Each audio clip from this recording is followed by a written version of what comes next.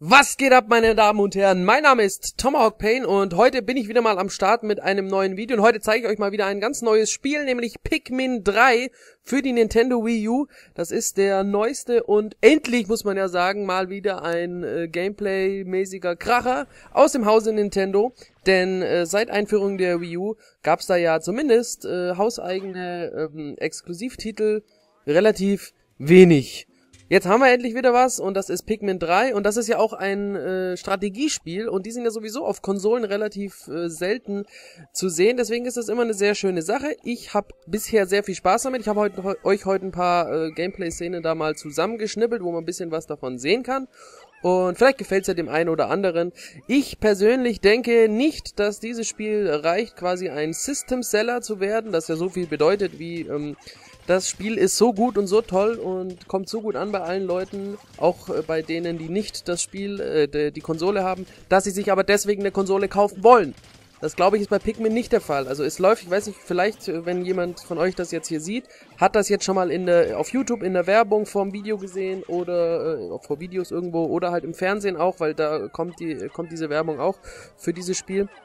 Ähm, die wollen schon versuchen, natürlich auch dieses Spiel heranzubringen, aber es ist halt was Spezielles. Also Strategiespiel, wie gesagt, auf Konsole ist bisschen schwierig und ähm, das muss den Leuten schon gefallen. Jetzt fragt ihr euch natürlich erstmal, ja, was ist denn Pikmin 3 überhaupt? Worum geht's? Es ist erstmal der dritte Teil natürlich aus der Pikmin-Reihe. Es gab schon zwei Teile davor, die sind aber schon, liegen aber schon Jahre zurück, zurück auf äh, zu Zeiten des Gamecube und ähm, man hat sich da sehr viel Zeit mit der Entwicklung gelassen. Jetzt endlich, quasi im Jahre 2013, bringen sie dann Pikmin 3 heraus und ähm, die Entwickler selbst haben gesagt, es ist das beste Pikmin. Man hat sich so viel Zeit gelassen, um das Ganze wirklich auf ein neues Level zu heben und natürlich auch um die äh, Fähigkeit der Wii U voll auszunutzen. Ähm, das ist auch durchaus gut gelungen. Und ja, es ist erstmal natürlich auch zur Story ein paar Worte zu, sind da zu verlieren, denn das interessiert ja die meisten Leute auch. Gibt es eine Story? Was ist die Handlung von dem Spiel? Es sieht so aus. Die, unsere Hauptprotagonisten, das sind so Raumfahrer, die leben auf dem Planeten Koppai und ähm, da gibt es eine Hungersnot. Warum auch immer. Und man muss dringend Nahrung beschaffen. Deswegen werden diese drei Raumfahrer ausgesandt, um auf dem Pikmin-Planeten, da wo sie dann äh, letztendlich landen, den haben sie vorher gescannt und da gefunden, nein Gott, da gibt's ganz viele Früchte, da müssen wir hin. Und deswegen machen die sich dann auf den Weg und landen auf diesem Planeten. Das äh, klappt allerdings nicht so, wie sie wollen. Das Raumschiff äh, hat irgendwie eine Panne und alle drei As Astronauten werden irgendwie in, auf der ganzen Welt da verstreut und die müssen sich erstmal alle wieder zusammensuchen. Und dann trifft man eben dort in dieser Welt auf die sogenannten Pikmin. Das sind die kleinen Figuren, die so ähnlich aussehen wie kleine Pflanzen und da gibt's verschiedene Arten von Pikmin, äh, die alle verschiedene Fähigkeiten haben. Ich werde das jetzt nicht alles äh, explizit ähm, aufzählen. Wie gesagt, ihr seht das hier in dem Video, da gibt's die roten Pikmin und es gibt die Stein-Pikmin. Ihr seht, äh, denke ich, auch, wie, in welcher Art man die auch zum Beispiel einsetzen kann. Da brauche ich jetzt nicht da viel zu sagen.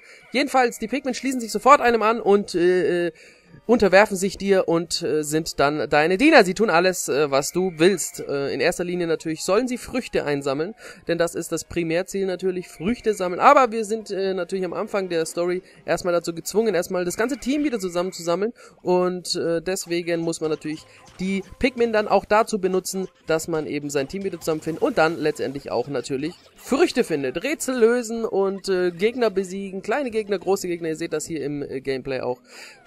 Gibt alles mit dabei. Es ist wie gesagt ein sehr interessantes, äh, interessantes äh, Gameplay, wie man also nicht nicht das Gameplay, was läuft, sondern wie das gespielt wird, denn es ist so, dass man eben entweder die Möglichkeit hat, man spielt komplett mit dem Game äh, mit dem Wii U Controller, also mit dem Touchpad den man dann quasi als, äh, wo man die Karte direkt davor hat und man steuert dann ganz normal mit, äh, mit äh, L und R-Stick und so weiter. Oder man spielt, was ich jedem nur wärmstens empfehlen kann, mit äh, Wiimote und Nunchuck, weil da hat man natürlich dann die Möglichkeit durch Bewegungssteuerung äh, den Pointer zu benutzen und wie man das hier auch, auch sieht, wo man die ganzen Pikmin dann hinwirft und äh, wo man hinzielt, das kann man dann mit der, mit der Hand mit der Bewegungssteuerung machen. Das ist definitiv viel sinnvoller.